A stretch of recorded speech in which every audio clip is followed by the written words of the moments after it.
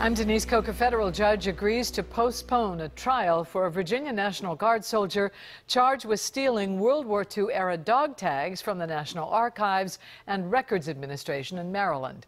The trial was scheduled to start Wednesday for Robert Rumsby of Fredericksburg, Virginia, but his attorney asked for more time to prepare. Tuesday, the judge agreed to move the trial date to October 30th. A complaint says Rumsby told investigators he took dog tags that belonged to four U.S. airmen killed in plane crashes in 1944 and gave three of them to family members of the fallen servicemen.